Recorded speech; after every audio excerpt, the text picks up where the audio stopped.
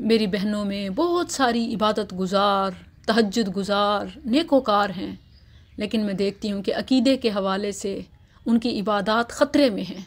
आप किसी भी मसलक से ताल्लुक़ रखती हैं, लेकिन याद रखें कि अकीदे को दुरुस्त कर लें। इसके बगैर कोई नेकी कबूल नहीं है।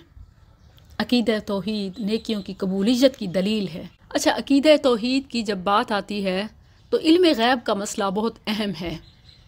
वो शख्स जो ये समझता है कि अम्बिया भी गैब की ख़बरें रखने वाले हैं। कोई किसी ज़िंदा को, मौजूदा को तो कोई फौज शुदा को या सबका को, कोई नबी को तो कोई वली को, कोई अली को तो कोई पीर अब्दुल कादिर जिलानी को, आलिमुल गैब समझ कर पुकार रहा है। मेरी बहनों, ये शिरकिया अकीदा है।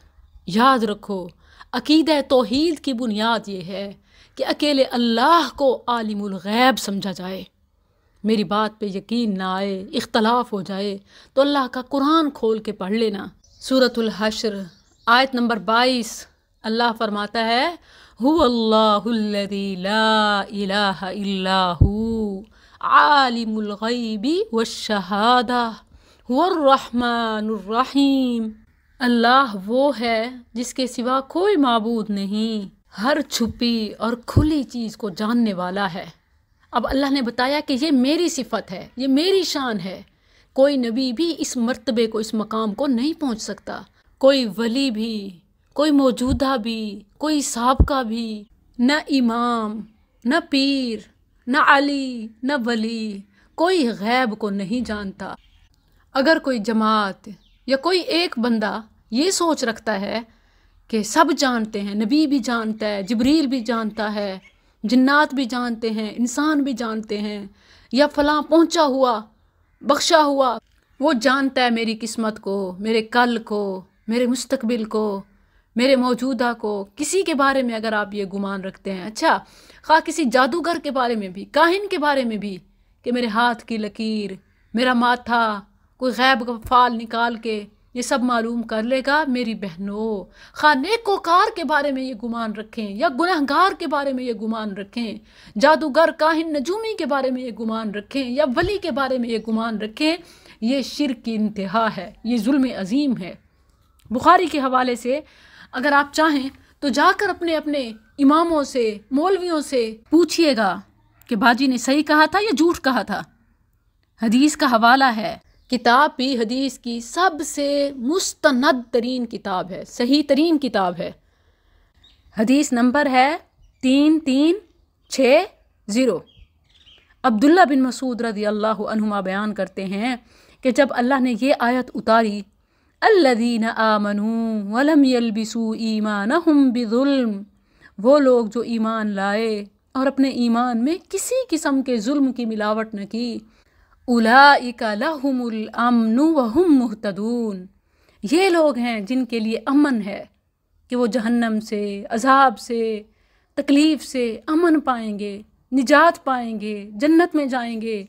वहुम मुहतदून और वही हिदायत पाने वाले हैं।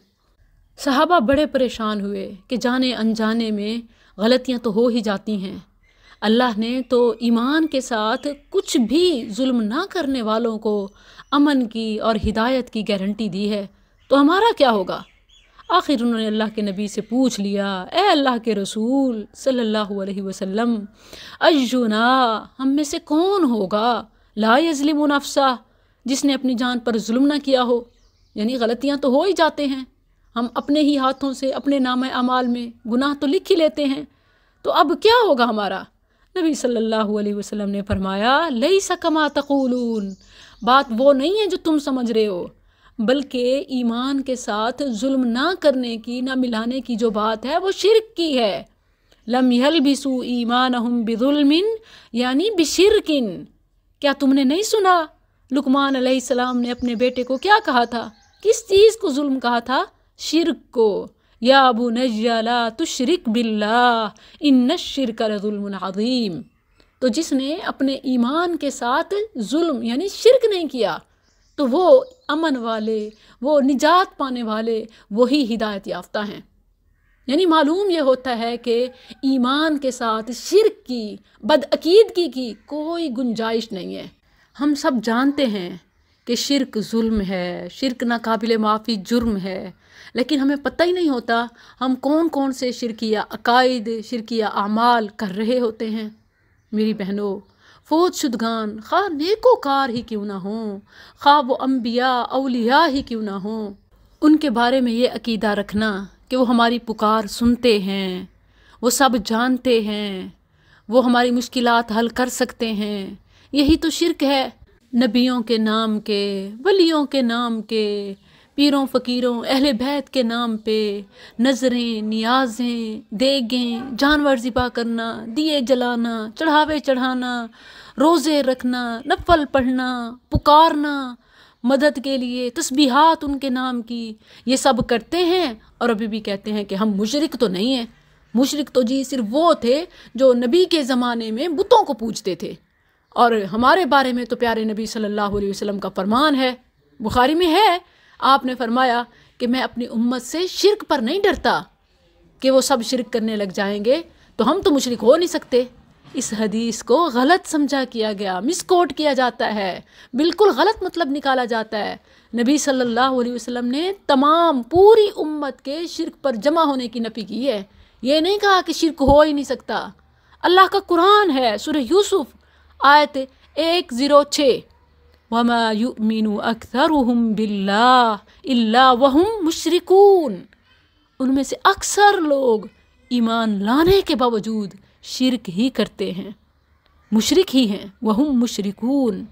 ईमान लाने के बावजूद वमा युमिनु ईमान लाते हैं, मगर शिरक भी करते हैं। यही तो हो रहा है, समझते नहीं है। कि जो इख्तियारात, जो ताकत, जो सिफ़ात अल्लाह की हैं, उसमें कोई नबी भी, वली भी, ज़िंदा भी, मुर्दा भी, कोई हिस्सेदार साझी नहीं है। अल्लाह ही खालिक है और वही राजिक है, वही मुदब्बिर है।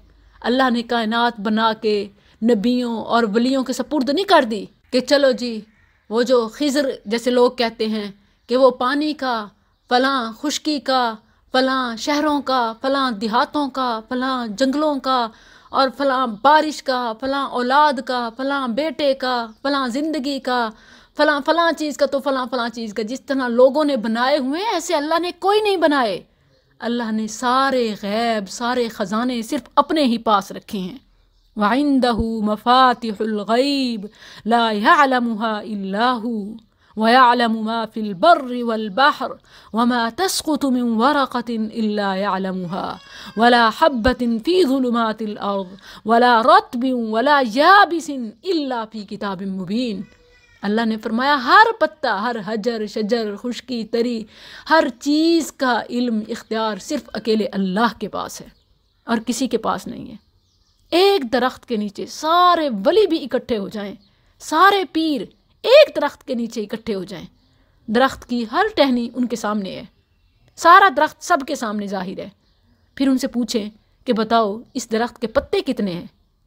कोई वली भी सारे अलिया मिलकर भी नहीं बता सकते कि उस दरख्त के पत्ते कितने हैं। अल्लाह ज़ाहिर भी जानता है और बातिन भी जानता है, और अल्लाह ने ये इल्म किसी को नहीं दिया। अम्बिया को वही बताया जो लोगों की हिदायत के लिए ज़रूरी समझा। खा वो माजी के किस्से हों। आदम सलाम से लेकर तमाम अम्बिया और अकवाम के हालात वाक़ात या आइंदा की ख़बरें, जो भी अल्लाह ने बताई, अपने गैब के इल्म से बताएँ। कोई भी अपनी तरफ़ से ख़ुद से सब नहीं जानता था। मेरी बहनों, आप समझ लो कि गैब किसे कहते हैं। गैब वो होता है जो बग़ैर किसी के बताए ख़ुद से सब मालूम हो। पहली बात अम्बिया अलिया को सब मालूम नहीं होता। दूसरा, खुद से नहीं होता। अल्लाह के बताने से होता है और सिर्फ़ उतना जितना अल्लाह बताए। बस। तो जब वो भी अल्लाह के मोहताज हैं, उसके बंदे हैं, वो अपने रब को पुकारते हैं तो हम उनकी तालीम पर अपने रब को क्यों ना पुकारें? नबी सल्लल्लाहु अलैहि वसल्लम ने हर परेशानी का हल, हर मुश्किल से निजात की ये दुआ सिखाई। अल्लाह रब्बी ला उशरिकु बिही शैआ अल्लाह